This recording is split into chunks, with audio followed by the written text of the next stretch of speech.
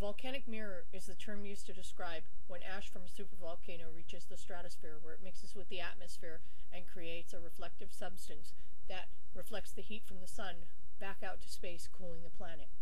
Giza pyramid was made with keystones that were polished so highly that they shone like a starry mirror.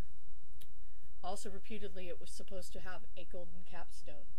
If you look at my picture and visualize the, the mirror back upon it and add the golden capstone, you can easily determine a message. Volcano mirror.